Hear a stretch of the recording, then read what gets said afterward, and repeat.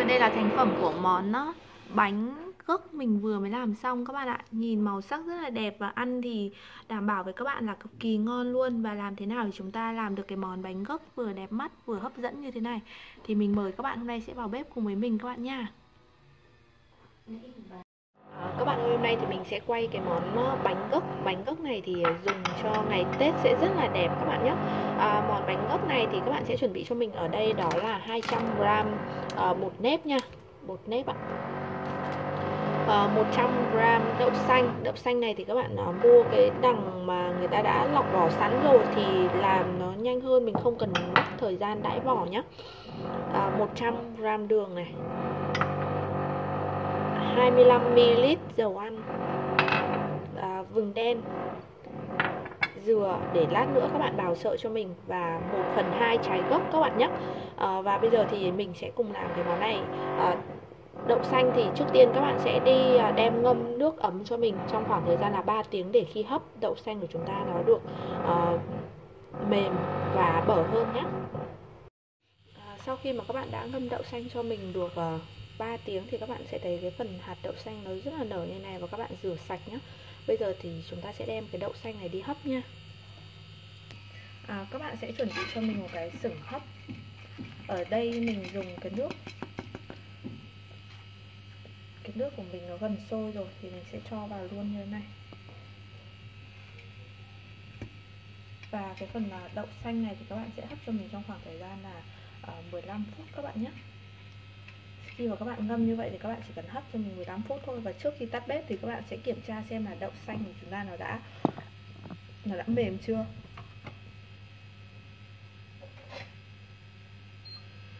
Và bây giờ thì mình sẽ đậy vung lại và chờ nhé.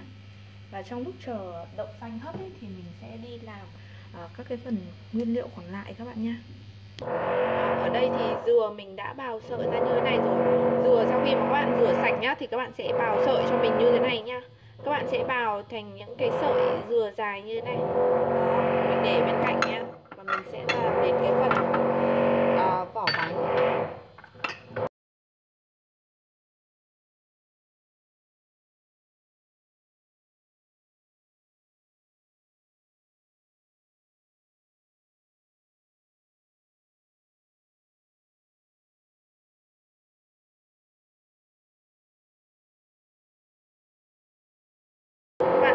cho mình ờ, 1 phần 2 cái quả gốc như thế này nhé Đối với các quả gốc to ấy, thì các bạn chỉ lấy cho mình ờ, khoảng 1 phần 3 thôi.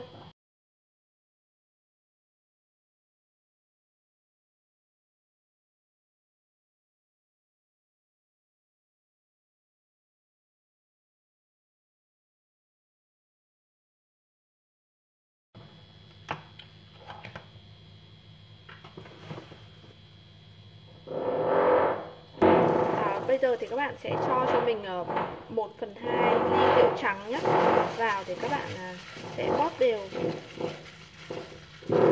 Các bạn cho rượu trắng vào thì khi mà ướp lên màu sẽ có cái màu đỏ tươi rất là đẹp chứ không bị xâm các bạn nhé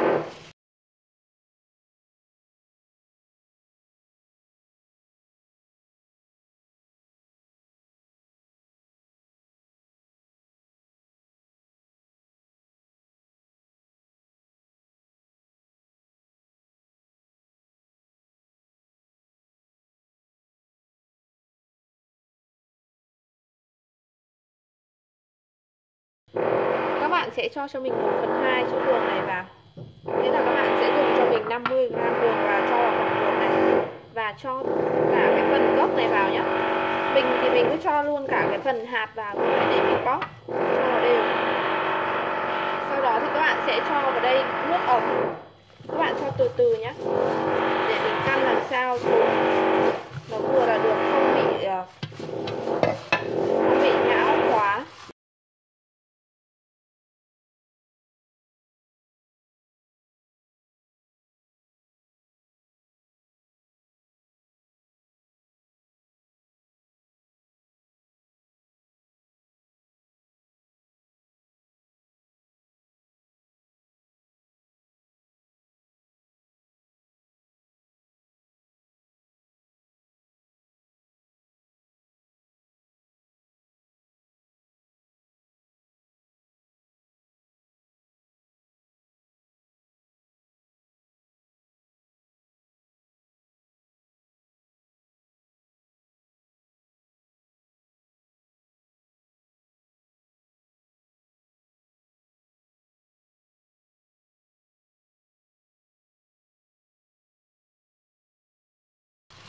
sau đó thì chúng ta sẽ nhào bột tiếp nhé cái món bánh này thì à, màu sắc rất là đẹp. Và khi mà các bạn là làm vào những cái ngày lễ, nó tượng trưng cho sự may mắn.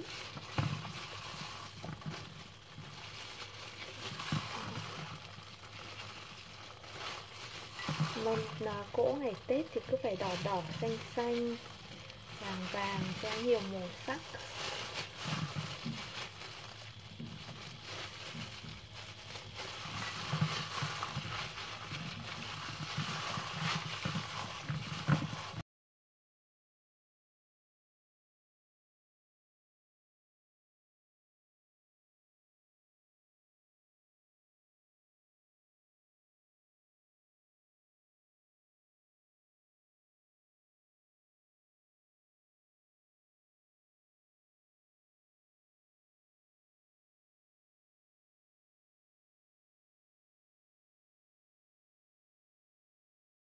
khi mà các bạn đã nhào bột các bạn thấy nó không còn dính tay nữa đó, các bạn sờ các bạn thấy nó không dính tay và khá là mềm bột thì các bạn sẽ để ở đây nhé dùng cái màng bọc thực phẩm các bạn uh, bọc lại cho mình.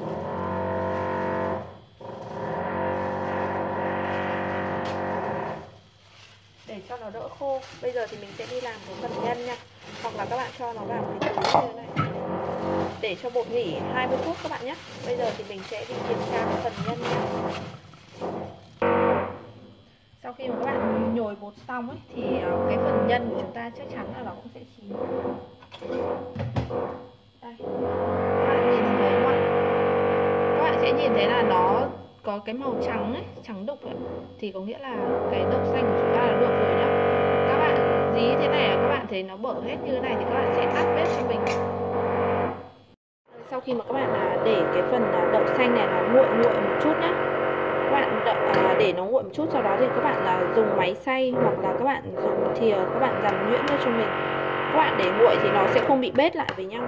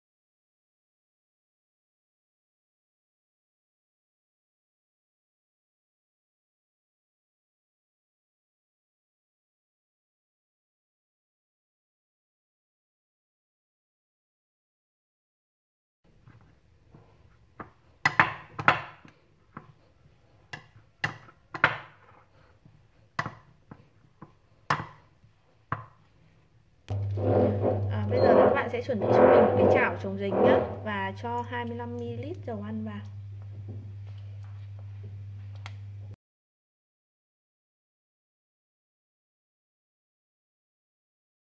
Sau đó thì các bạn sẽ cho cái phần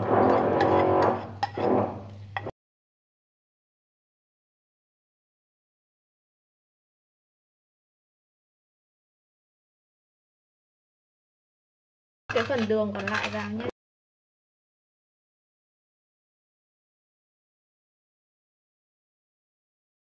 Thêm cho mình ờ, một uh, muỗng canh bột nếp.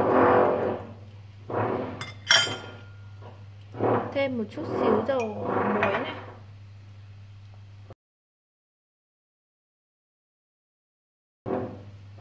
Đó. sau đó bây giờ thì các bạn sẽ trộn đều lên nhé để cho cái phần nhân này của chúng ta nó quyện lại với nhau. Các bạn uh, cho cái ờ, bột nếp vào để cho cái phần đậu xanh của chúng ta nó trong và mịn hơn. Nếu mà các bạn thấy nó hơi khô như thế này thì các bạn sẽ cho thêm một chút xíu nước vào. Không sao các bạn nhé các bạn cho thêm một chút xíu nước vào lát nữa nó sẽ bay hơi hết các bạn đảo đều lên để cho cái phần à, nhân ngấm đều đường và cái đường nó tan ra.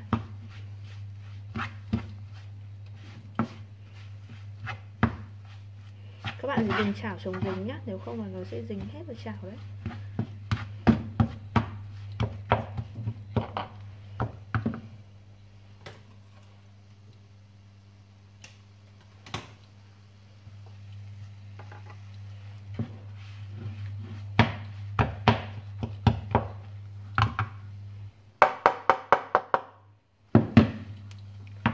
Thêm đến cái nhân này cho đến khi nó đánh lại một chút.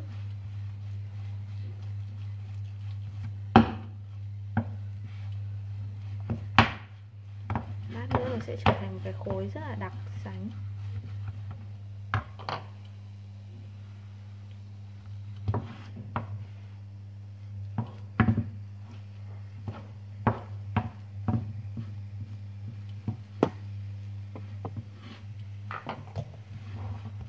Khi mà các bạn thấy nó cái, cái nguyên liệu này nó đang sánh lại như thế này rồi thì các bạn cho cái phần dừa dừa nạo các bạn đã nạo vào nhé.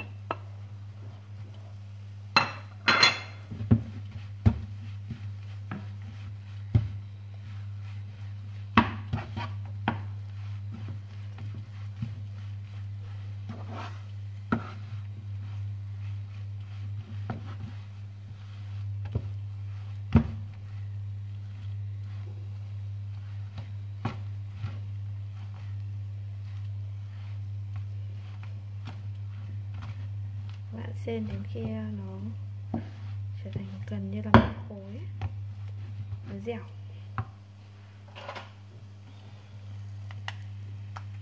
Nếu như mà các bạn có uh, bột vani hoặc là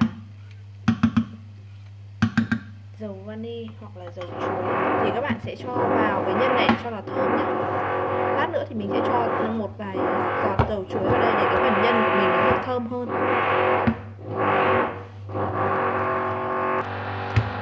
Ơi khi mà các bạn thấy cái phần ờ, nhân này nó thành một cái tảng như thế này và khô lại một chút rồi thì bây giờ các bạn sẽ tắt bếp cho mình nhé các bạn sẽ tắt bếp và chờ nó nguội một chút sau đó thì các bạn sẽ vo thành cái, cái viên. Làm sao để chúng ta có cái phần nhân nó vừa phải không lớn quá cũng không nhọc quá. các bạn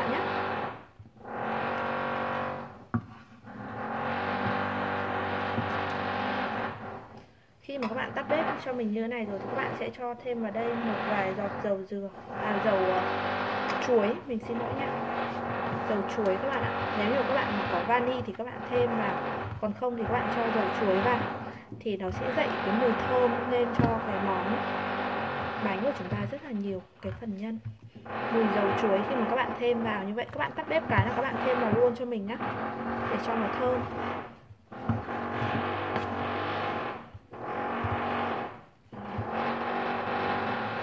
Đều lên là được.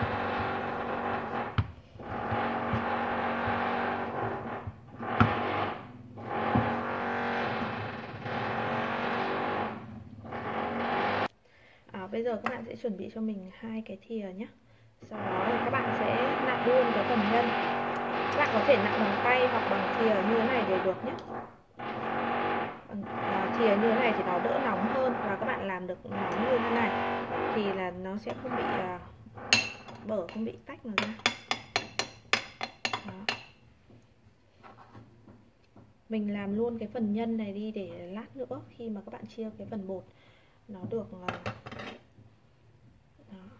các bạn dùng một tay các bạn chỉnh cho nó tròn lại tròn lại cho mình là được các bạn phải vo viên lúc mà nó còn ấm nóng như thế này các bạn nhé các bạn để nguội quá là nó rời hết ra đấy đó phần nhân của chúng ta có đường này có dừa một chút bột nếp một thìa một thìa canh này bột nếp này. Để cho cái phần đậu xanh nó được uh, bóng sánh mịn bạn chia làm sao để cho các cái phần nhân nó bằng nhau? Thì khi mà mình làm nó đều đẹp nó cứ tròn đều như thế này là được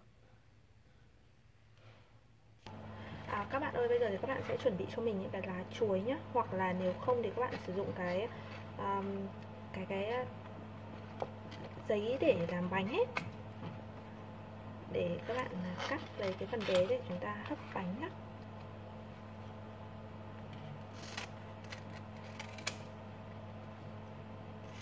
ở đây có 10 cái nhân thì mình sẽ làm 10 miếng này. Để hấp bánh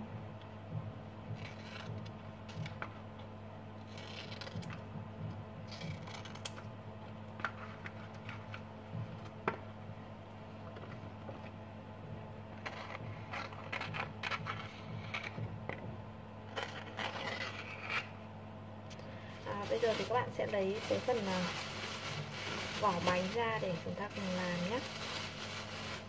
Các bạn sẽ chia cái phần vỏ bánh này ra thành 10 miếng cho mình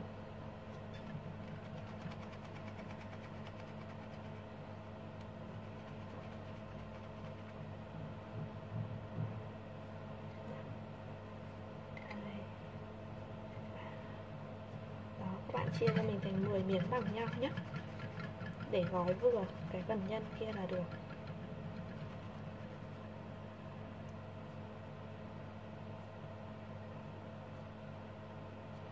Đó, hôm nay vừa được 10 miếng nhân luôn. Bây giờ thì các bạn sẽ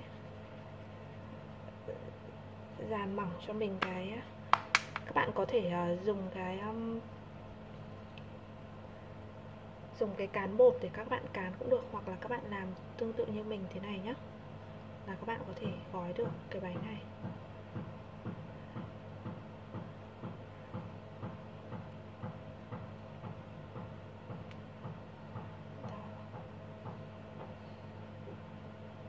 Sau đó các bạn gói nó lại. Gói để kín được cái phần nhân nhé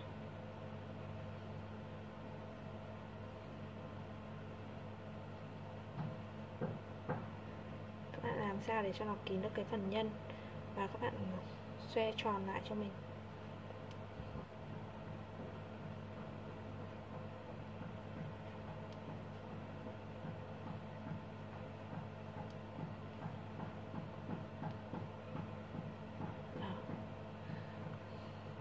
Sau đó thì ờ, các bạn sẽ dùng dầu ăn nhé các bạn sẽ dùng dầu ăn các bạn phết lên phía trên uh, cái lá chuối này cho mình để khi mà hấp nó sẽ không bị dính vào nha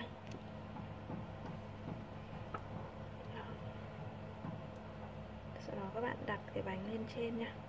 Và các bạn rắc cho mình, chấm cho mình. Cái à, vừng đen lên phía trên của cái bánh, trên của mặt bánh như này.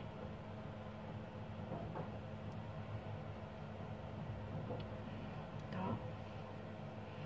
Vậy là mình đã xong một cái rồi và các bạn làm tương tự cho mình cho đến hết các bạn nhé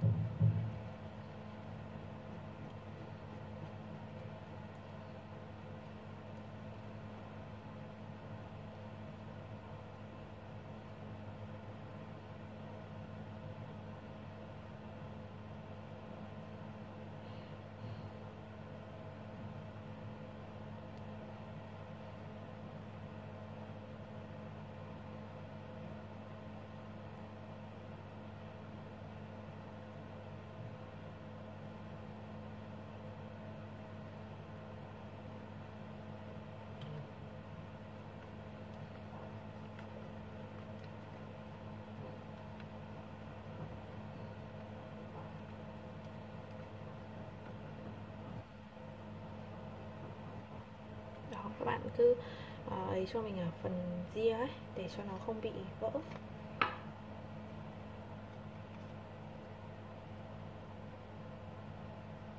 Đặt cân cái bánh. Sau đó các bạn chấm vào đây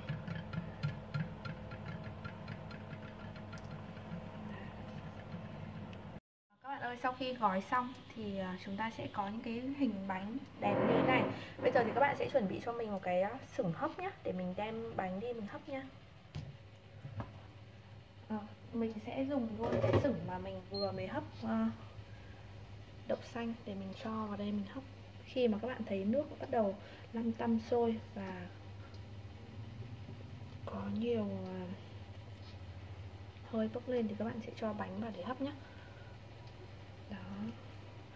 mỗi một cái bánh này nhìn rất là giống cái quả cà chua đúng không các bạn? Rất là đẹp luôn và đặc biệt là nó rất là giàu vitamin tốt cho mắt của chúng ta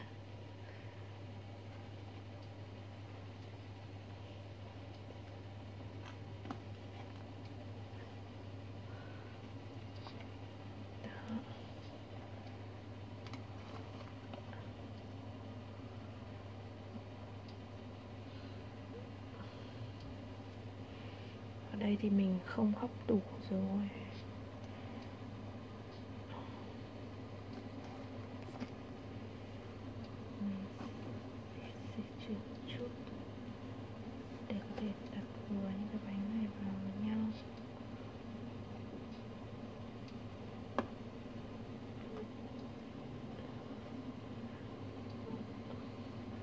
Các bạn à, đừng đặt bánh gần nhau quá nhá. Đặt bánh gần nhau quá thì đến khi mà các bạn à, hấp xong lát nữa các bạn hấp thì bánh nó sẽ nở ra một chút đấy đó. Đây, cái này mình sẽ chắc là phải đặt chung mười cái nhỏ nhỏ mình không muốn hấp hai à. rồi. Bây giờ thì các bạn sẽ đậy vung lại cho mình nhé và thời gian hấp bánh thì các bạn sẽ chỉ hấp cho mình trong khoảng thời gian là ờ, 15 đến 20 phút là bánh sẽ chín các bạn nha ơi sau khi mà các bạn đã hấp được ờ, chỗ này là mình hẹn giờ là 17 phút. Thì chúng ta đã hấp xong cái phần bánh này rồi các bạn nhé bây giờ thì mình sẽ tắt bếp để à, cho cái bánh này ra các bạn nha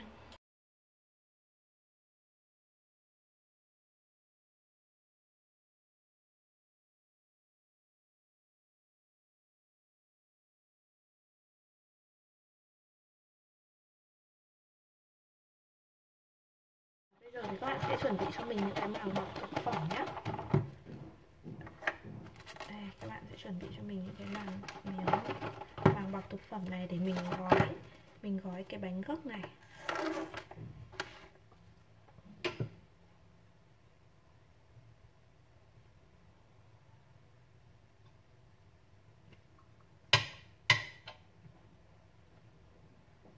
Đây, các bạn ơi. Các bạn úp ngược cái bánh lại cho mình nhé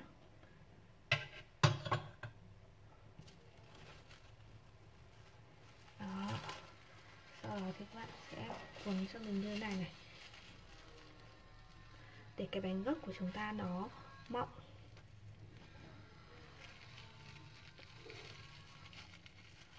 Đó, để cho nó mọng và đẹp hơn các bạn nha. Đấy.